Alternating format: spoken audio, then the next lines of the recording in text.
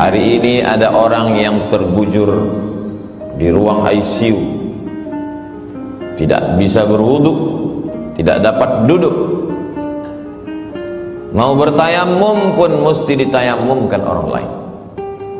Padahal kemarin dia adalah orang yang gagah perkasa dengan harta dan kekuasaannya. Tapi begitulah hidup. Semuanya serba tiba-tiba dan tanpa diduga dia datang. Senang dan susah. Sakit dan sehat.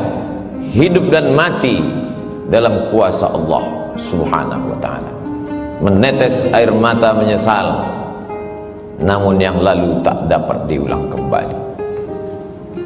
Sayup-sayup suara azan dari menara masjid menembus lobang-lobang angin di celah jendela air mata penyesalan masih ada. Alhamdulillah. Masih diberikan Allah subhanahu wa ta'ala sakit. Bagaimana dengan yang mati mendadak secara tiba-tiba melangkah keluar dari rumah? Bukan dengan kata bismillah. Tidak pula bismillah tawakkaltu ala Allah wala hawla wala quwata illa billah. Tapi dalam perbuatan maksiat dan dosa. Kematian datang tiba-tiba tidak ada roh gentayangan dalam Islam. Roh dalam kuasa Allah subhanahu wa ta'ala. Yang baik-baik letaknya illiyin. Yang buruk, jelek, jahat, busuk, sijin. Tidak ada satupun manusia yang bisa memanggil, mengundang, mendatangkan roh manusia. Tapi tradisi ini sudah lama berlangsung. Ketika Syekh Muhammad Abduh dalam masa pelariannya ke Paris Prancis bersama tokoh tokoh Islam yang terusir dari Mesir Jamaluddin Al-Afghan mereka juga punya tradisi di sana menghadirkan roh dan Syekh Muhammad Abduh diundang dalam acara itu. Kata Syekh Muhammad Abduh, kalau memang betul kalian bisa menghadirkan roh, tolonglah undang roh Nabi Isa alaihissalam. Karena aku ingin bertanya kepadanya, apakah dia mati disalib atau bagaimana keadaan yang sebenarnya? Apa jawab mereka? Ini roh istimewa yang tak dapat dijemput dan diundang oleh siapa pun undanglah roh Nabi Muhammad wasallam karena aku ingin bertanya tentang hadis-hadis aku ragu apakah ini hadis sahih atau hadis dhaif. Kata mereka ini roh spesial. Itu hanyalah silat lidah belaka roh dalam kuasa Allah Subhanahu wa taala. Lalu kalau ada yang bisa mendatangkan roh sesungguhnya siapa yang berkata itu? Mengapa suaranya mirip? Mengapa dia tahu lokasi tempat kejadian peristiwa per pekan, per hari, per jam, per detik? Karena sesungguhnya manusia lahir jadi didampingi oleh jin yang disebut dengan qarin. Ya'shu an dzikrir rahman, siapa yang tidak berzikir mengingat Allah, nuqayyid lahu syaitanan fahuwa lahu qarin. Maka kami akan ikatkan ke tubuhnya syaitan dan setan itu menjadi fahuwa lahu qarin yang senantiasa bersama dengan dia itulah mengapa kita pagi membaca wirid-wirid Al-Fatihah.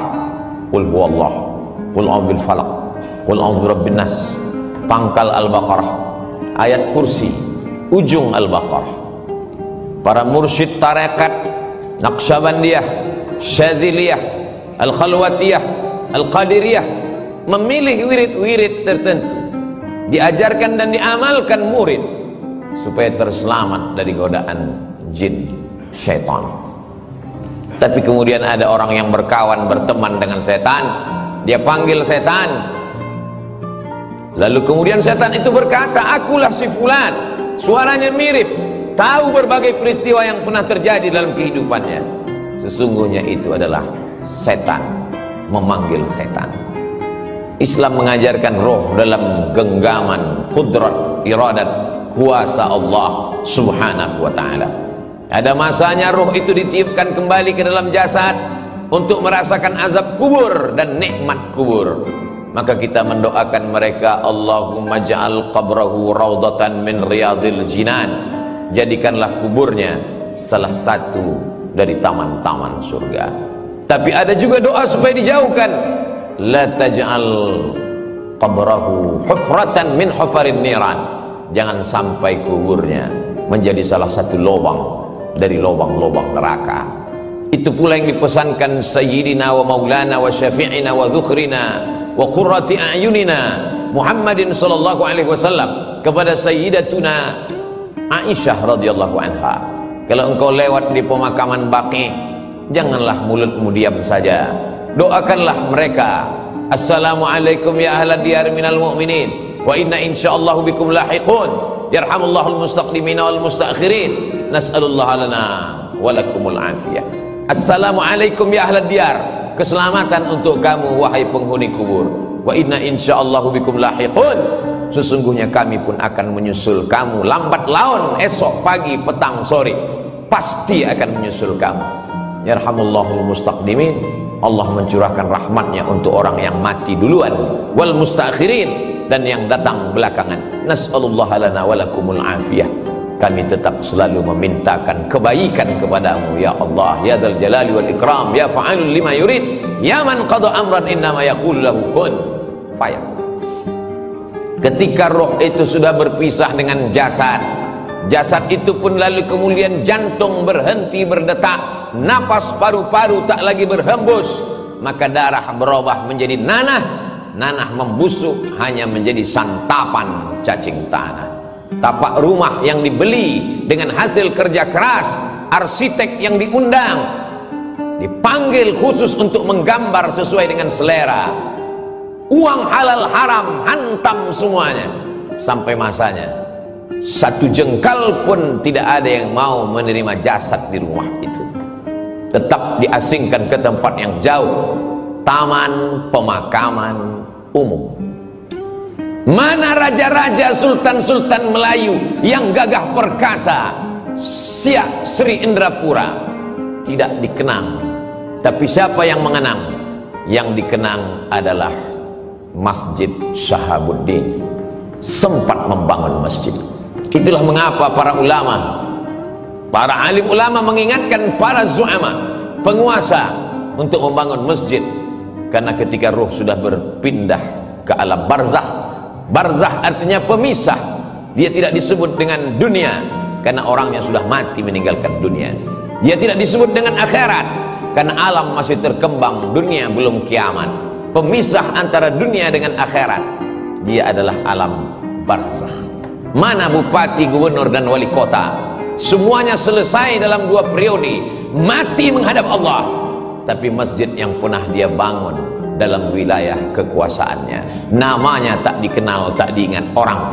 Tapi pahala tetap mengalir ke liang lahat kuburnya. Ketika kekuasaan masih ada di ujung tangan tanda tangan masih berlaku tolonglah agama Allah. Karena semuanya hanya sekedar mimpi belaka. An-nasuniyam manusia ini semuanya tertidur falamma matu ketika mereka mati intabahu barulah mereka tersadar terbangun dari tidur yang panjang lelap sampai mengigau. Ternyata hanya mimpi jadi orang kaya mimpi menjadi penguasa mimpi menjadi orang yang dipuja-puja. Ketika kematian datang semuanya tinggal. Baju besar kemewahan dan kemegahan harta benda kendaraan sedetik setelah kematian dia mulai dibagi-bagi, dipotong-potong, dicabik-cabik oleh ahli waris.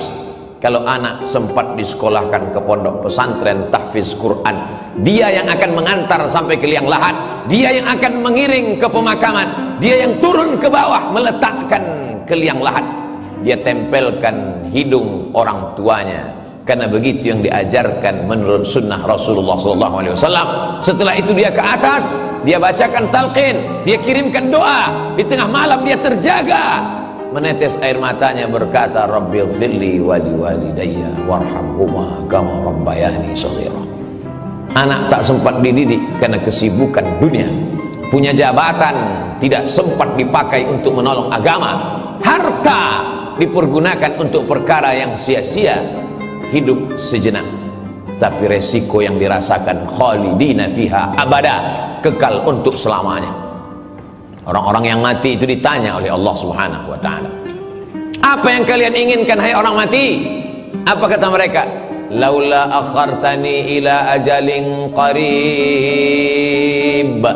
Berikanlah kami tambahan ajal waktu supaya kami bisa hidup sekejap sedetik semenit ya Allah kalau kuburi kau hidup kau mau apa? Fa asaddaqa aku mau bersedekah.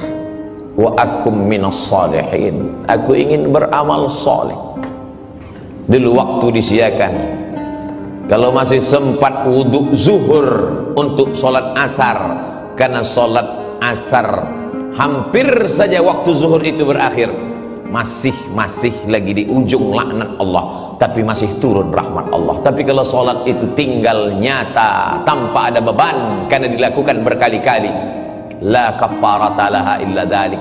Tidak ada yang bisa menebus sholat kecuali sholat itu sendiri. Semua tinggal menjadi kesia-siaan. Wa qadimna ila ma'amilu min amalin. Semua amal perbuatan yang sudah kau lakukan dulu kami datangkan kau lihat kau pandang di depan kelopak matamu. Faja'alna haba'an mansura. Kami jadikan amal itu terbang seperti debu dihembus angin. Tepung melayang di udara. Tak bermakna tak dapat menolong. Padahal orang-orang beriman melihat amal kebaikannya. Famay ya'mal mithqala dzarratin khairan. Yarah wa may ya'mal mithqala dzarratin syarran. Yarah tapi apa mau dikata? Kata-kata tak lagi bermakna. Penyesalan hanya tinggal derita yang dibawa menghadap Allah Subhanahu wa taala kalau pernah memaksa-maksakan diri untuk sholat duha agak dua rakaat. Kalau pernah memaksa-maksakan mata untuk tahajud meneteskan air mata di tengah malam. Kalau pernah memaksa-maksakan diri untuk menyisihkan uang belanja 1, 2, 3 sak semen 1, 2, 3 meter pembebasan tanah pembangunan masjid. Kalau kau tidak hafal Quran biayailah anak penghafal Quran. Kelak dia akan mengajar menjadi imam. Mengalir juga setetes dua tetes pahalanya. Kalau kau tidak pernah menuntut ilmu agama tak dapat lagi menghafal karena dipangkal panjang. Dibaca yang panjang lupa yang pendek. Dibaca pangkal hilang yang ujung diulang ujung melayang yang pangkal. Maka bantulah fakir miskin dan duafa karena itu sajalah lagi satu-satunya harapan yang dapat menolong ketika ajal tiba menghadap Allah subhanahu wa ta'ala. Sampai masanya yarji usnani yang dua pulang ke rumah. Maluhu mobilnya surat tanahnya STNK BPKB semua kembali pulang ke rumah. Wa ahluhu keluarga anak menantu handai tolan suami istri kawan jiran tetangga. Semua pulang ke rumah. Hari pertama kedua mereka meneteskan air mata hari keempat kelima mereka mulai tertawa hari keenam ketujuh hanya tinggal kenangan semata mana yang mengalir kalau pernah mengajarkan Al-Fatihah alif bata diamalkan anak cucu keturunan Mana yang tetap mengalir sampai kematian? Kalau pernah mewakafkan Al-Quran, tak dapat Al-Quran surat Yasin. Sehari dua hari sempatkan menjenguk fakir, miskin, yatim dan du'afa. Mengusap kepala mereka. Satu, dua, tiga bungkus. Semeter, dua meter, satu, dua, tiga sak. Itu sajalah yang dapat menolong di hadapan Allah subhanahu wa ta'ala. Isma syikta. Hidup sesuka hatimu. Mau hidup dengan cara Fir'aun, silakan mau hidup dengan cara Qarun silakan mau hidup dengan cara apa pun silakan fa innaka mayyit karena sesungguhnya kau akan jadi mayat kau akan menjadi bangkai kau akan diperebutkan oleh cacing tanah semuanya akan kembali menghadap Allah. Yang jahat mati yang baik pun mati. Semua orang siap mati. Tapi tak banyak yang memikirkan apa yang akan dihadapi setelah kematian. Barakallahu li wa lakum fil Qur'anil azim. Wa nafa'ani wa iyyakum bima fihi minal ayati wa dhikril hakim. Wa taqabbala minni wa minkum tilawatahu. Innahu huwal ghafurur rahim. الحمد لله الذي بنعمته تتم الصالحات والصلاة والسلام على سيد السادات وعلى آله وأصحابه أهل الفضائل والكرامات. أشهد أن لا إله إلا الله وحده لا شريك له وأشهد أن سيدنا محمدا عبده ورسوله وصفيه من خلقه وخليله أدى الأمانة وبلغ الرسالة ونصح للأمة وتركنا على المحجة البيضاء ليلها كنهارها لا يزيغ عنها إلا هالك. قال الله تعالى في القرآن العظيم وهو أصدق القائلين. أعوذ بالله من الشيطان الرجيم. بسم الله الرحمن الرحيم والعصر. إن الإنسان لفي خسر إلا الذين آمنوا وعملوا الصالحات وتواصوا بالحق وتواصوا بالصبر. وقال تعالى في آية أخرى إن الله وملائكته يصلون على النبي. يا أيها الذين آمنوا صلوا عليه. صلوا عليه وسلموا تسليما. اللهم اغفر للمسلمين والمسلمات والمؤمنين والمؤمنات الأحياء منهم والأموات برحمتك يا أرحم الراحمين. اللهم انصر الإخواننا المجاهدين المستضعفين في فلسطين وفي رهينيا وفي كل مكان من مشارق الأرض إلى مغاربها. اللهم أعز الإسلام والمسلمين واخذل الكفرة والمشركين ودمر أعداءك أعداء الدين. اللهم ادفع عنا الغلاء والوباء والفحشاء والربا والزنا والمنكر والسيوف المختلفة والشدائد والمحن ما ظهر منها وما بطن من بلدنا هذا خاصة ومن بلدان المسلمين عامة. عباد الله أوصيكم ونفسي بتقوى الله وطاعته فقد فاز المتقون. إن الله يأمر بالعدل والإحسان. وإيتاء ذي القربى وينهى عن الفحشاء والمنكر والبغي يعظكم لعلكم تذكرون فاذكروا الله العظيم يذكركم واسألوه من فضله يعطكم ولذكر الله أكبر والله يعلم ما تصنعون